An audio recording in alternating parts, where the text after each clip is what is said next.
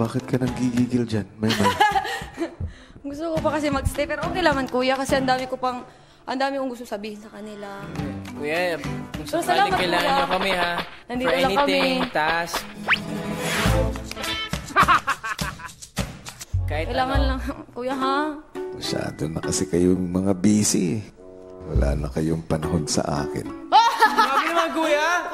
hindi Lahat namin gagawin kasalanan. kami para bumalik dito. Hala, hindi namin kasalanan, kuya. Promise talaga yan.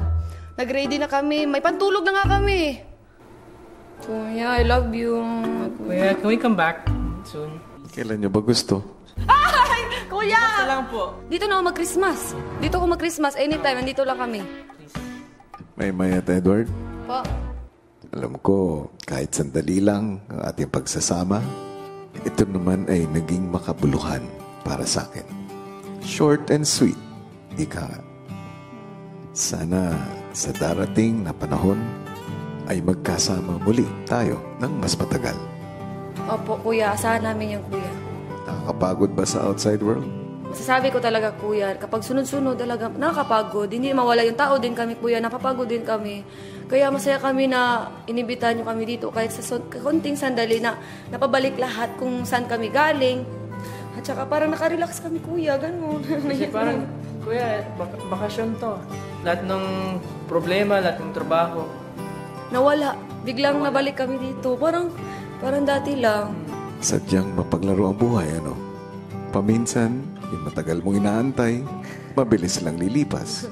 Pero naniniwala ako, tulad ng itinuro ko sa inyo, na ang bawat tao, hawak ang kanyang kapalaran. Baguhin kaya natin ang kapalaran nyo ngayong gabi. Baguhin na yung kapalaran. Like, the, Change the, ano? he, he will change the the pa, na kapalaran. Oh my God, kuya, yung English niya, kuya. The kapalaran, like the, the, the decision you have plan. Then he will change the plan. Ah, what plan, kuya? Ano bang plano dapat ngayong gabi? Wa- hindi ako kumasa. Kuya, mag-iyak ka! Oh my God! Kuya, joke Kuya. pa to. Maymay at Edward, gusto nyo bang baguhin ang kapalaran nyo? Opo, kuya!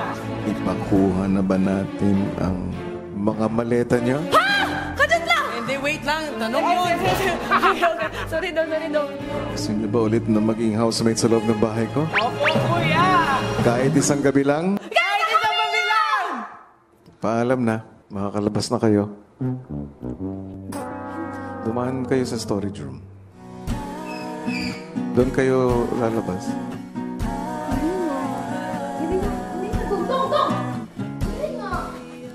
Eh, pag-sure ba?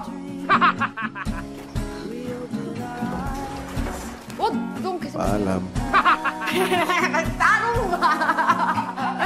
Ay, tanong! Makakalabas na kayo. Alright.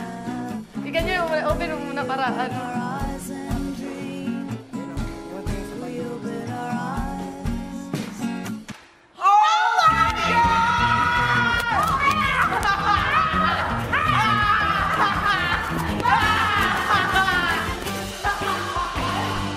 I love you so much. Kuya, you have made my year. Grabe.